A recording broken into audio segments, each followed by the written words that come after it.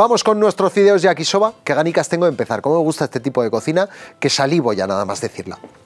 Tenemos por aquí unos bistecs de ternera. Podéis elegir la parte que mejor mm, aspecto tenga cuando vayáis a la carnicería. Cortada finita, eso sí.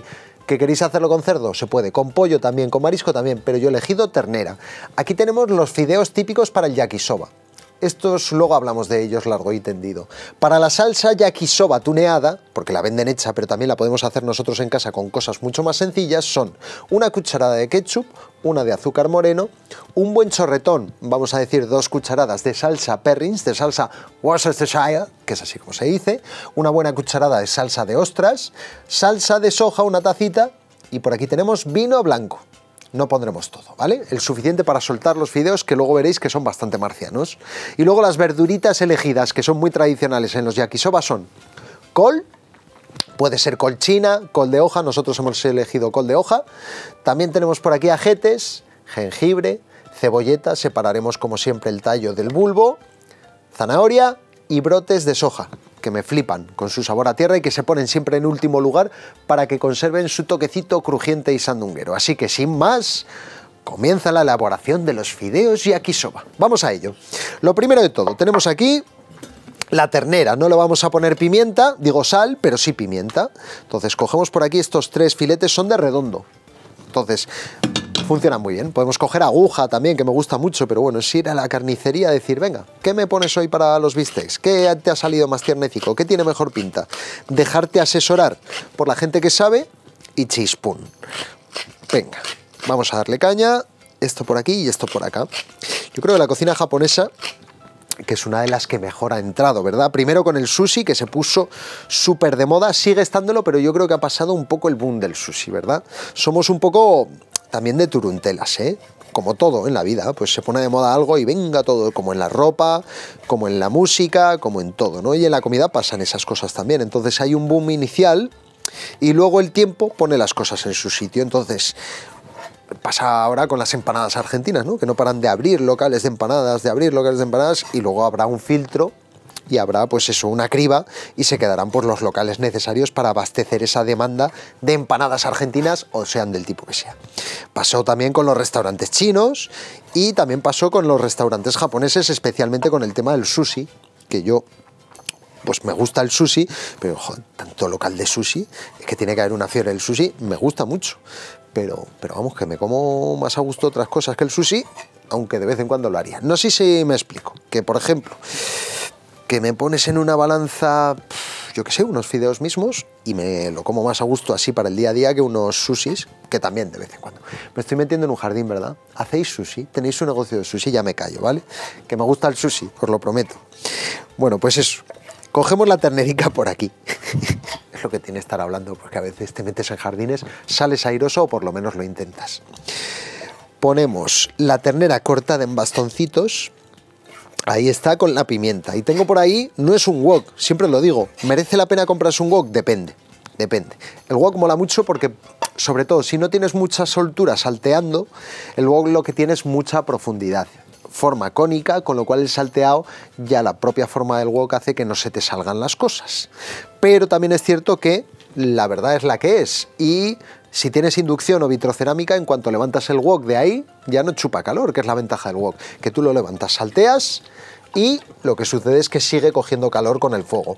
Pero aquí no, con lo cual te recomiendo que cojas una perola profunda, eso sí, para que no se te vaya todo al garete, y te cojas también una espátula pastelera de silicona y con eso a funcionar.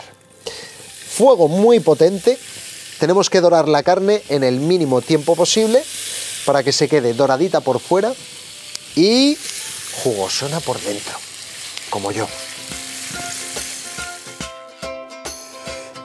Venga, pues ya tenemos doradita la ternera, así que vamos a dejarla aparcada aquí, vamos a poner más aceite de oliva virgen extra y ahora vamos a freír los fideos. Y hablamos un poquito de los fideos yakisoba. Estos fideos yo los he comprado en un establecimiento asiático y son fideos, es una marcianada porque tú dices, esto lo encontraremos refrigerado. No, son fideos precocidos eh, frescos, pero no están refrigerados. Los venden así envasados y os garantizo que están buenos, que podéis consumirlos tranquilamente, ¿vale? Si no encontráis de estos, noodles del supermercado. Pero si tenéis la oportunidad, estos están muy guay. Podéis comprarlos también por internet, ¿eh? Pero, chico, yo estas cosas así de comprar por internet no, no merecen la pena porque tenemos con espaguetis lo podéis hacer, aunque alguien se ofenda, aunque me esté viendo aquí Takeshi Kitano y me se esté ofendiendo, lo siento, pero al final lo importante es el mejunjito de la salsa y tal. Que con estos fideos, desde luego, la textura es diferente y todo es más auténtico. Sí, por supuesto, pero si no los encuentras habrá que, habrá que buscarse un recursito. Takeshi, no te enfades, que tienes un genio. Por aquí, son dos bloques, ya lo sé, esto es perfectamente normal, vienen así y hay que soltarlos, pero primero me gusta freírlos un poquito, que arranquen los jugos que se han quedado de la carne y que se vayan dorando. Esto sí, ¿verdad? Takeshi, Takeshi Kitano, director de cine japonés que a mí me flipa. O sea, unas películas marcianas como pocas, pero que empiezas a verla y hasta que no acabas no puedes terminarla. Y otra cosa muy curiosa de uno, es uno de los directores mejor considerados del mundo, Takeshi Kitano, pero es que no os lo vais a creer. ¿Recordáis Humor Amarillo? ¿Recordáis los jueces que había un poco así vestidos con sus túnicas y eso que andaban juzgando siempre a los concursantes y peleando entre ellos? Pues bien, uno de ellos, y el que dirigía además el programa era Takeshi Kitano. ¿Qué os parece? Es, no sé, como un poco como si Alfred Hitchcock hubiese dirigido el, show de Benny Hill, una cosa así rarísima, una mezcla, mm, pero mola mucho eso, la gente que lo mismo se pone a hacer cosas súper serias y súper profundas, hacer el gamberro, si es que eso es la vida, tampoco tiene que ser porque todo seriedad. Bueno, para terminar de soltar los fideos que ya están fritos, usamos el vino blanco, que es el primer ingrediente de la salsa yakisoba tuneada. Así que echamos un buen chorretón de vino blanco y ahora con esto y así se terminan de soltar los fideos sin que los rompamos, ¿vale? La humedad hace que se suelten. No os preocupéis que esto que está pasando es perfectamente normal, ¿vale? Hasta que se sueltan cuesta un poquillo, pero fijaos cómo ya se va quedando esto como unos noodles sueltecitos, sueltecitos, y dejamos que evapore el alcohol. Y tenemos las verduricas también esperando. ¿eh? Es un plato sanote, porque la salsa sí que es cierto que lleva un alto contenido en azúcar, pero el resto pues tenemos ahí una pasta, tenemos una carne sin grasa y tenemos muchas verduritas salteadas. Así que lo mismo te digo que, que es un plato contundente que también es sanote. Perfecto. Muy bien. Fideos sueltos, conseguido ¿Veis que parecía que esto iba a ser imposible y al final sí se puede? Lo tenemos. ¿Y qué vamos a hacer con los fideos? Esto me gusta hacerlo para poder obtener el caramelizado de las verduritas. Entonces, en el mismo cuenco donde he retirado la carne, vuelco los fideos. Perfecto. Y seguimos dándole candela a esto. Vale, volvemos a tirar de aceite de oliva virgen extra y como siempre en la pera limonera, no compartimos la opinión de quienes dicen que en la cocina asiática el aceite de oliva virgen extra está de sobra. No estoy de acuerdo para nada. Siempre con el mismo argumento.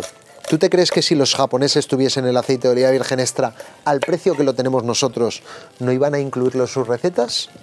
¿De verdad? Lo dudo, lo dudo de verdad. O sea, es que mil veces mejor que cualquier otro aceite. Ponemos por acá cebolleta, ajetes, zanahoria, cortamos todo, tampoco muy menudito porque luego me interesa que se dore, que se note al masticar y va a quedar súper rico. Y abundancia, como podéis apreciar, de vegetales. Esto va para adentro. Tengo la pala recogedora por aquí, así, la tengo por aquí. Hay que ser dinámico en los woks, siempre lo digo. En un wok no te puedes dormir en los laureles. Qué bonita expresión, por cierto. Bueno, pues en un wok no te puedes dormir en los laureles. ¿Por qué? Pues hay guisos de garbanzos de 13, 14, 15 horas a fuego lento, pero no hay que dar vueltas si lo pones al 1 o al 2. Ahora en un wok que tienes el turbo puesto, como te despistes un momento, se te va al garete todo, se te va a, Tokio. Cogemos el jengibre, que ya habéis visto que últimamente tengo la turuntela de no rayarlo, sino de picarlo. Si os da pereza lo rayáis y chispún, pero si podéis picarlo, mejor, que luego al masticar da mucha gustera esto por aquí, lo echo a ese huequecito, me queda la col. Y los brotes, pero eso, los brotes van al final, ¿vale? Los brotecicos de soja. Se pueden comer crudos, a mí me gustan mucho. Pero si los ponemos en algún guisote como este, los ponemos al final, mucho mejor, ¿vale? Y col, ya sabéis que en Asia la col es religión, de todas las formas que la cocinan, de todas las variedades que hay, y nosotros hemos cogido una col de hoja, muy nuestra, picamos y le va a dar ese toquecito dulce y crujiente maravilloso. Ahí está, todo picadico, lo metemos para adentro, perfecto, y ahí lo tenemos entonces lo que os decía. ¿Que se os da bien el noble arte del salteado? Pues salteáis. ¿Que se os va a caer todo por fuera? No pasa nada, porque esto es una inducción y de hecho es mejor que esté permanentemente en contacto con la inducción. Así que vamos salteando hasta que esto se dore y luego ensamblaremos ingredientes.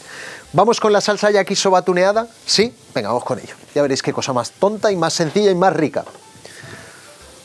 Cogemos por aquí vasito y vamos a poner todos estos ingredientes. Salsa de soja, salsa perrins, fundamental, porque es una salsa, la perrins, bastante marciana y lleva, aparte, aparte de, igual si os digo los ingredientes os tira para atrás, pero la salsa perrins lleva pescado fermentado, y también lleva mucho tamarindo y aparte de especias. El tamarindo pues es puramente asiático, típicamente asiático y deja un sabor muy particular a las cosas, entonces es un buen sustituto del tamarindo, de la pasta de tamarindo.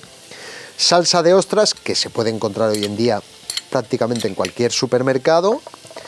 Ketchup, sí, lo habéis oído bien, un buen ketchup, que también los hay peores y mejores, pues cogemos el que más nos guste. Y azúcar moreno, tus ojos bandido, lo lailo, lo lailo.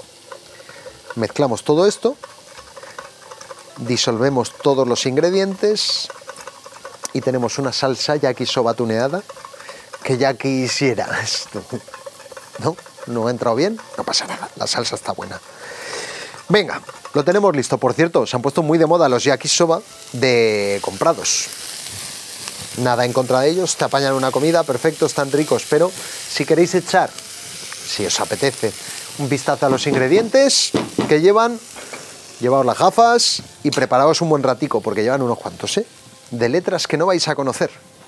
Ahí lo dejo. Y estos, en cambio, son todo cositas que conocemos, ¿vale? De confianza. Ponemos por aquí el mejunjito yakisoba. Echamos de nuevo los fideos y la ternera subo el fuego con el turbo, que aún le queda una potencia por acá, le meto candela y vamos a dejar que esto se quede glaseado y caramelizado. No sabéis cómo huele esto. Madre mía.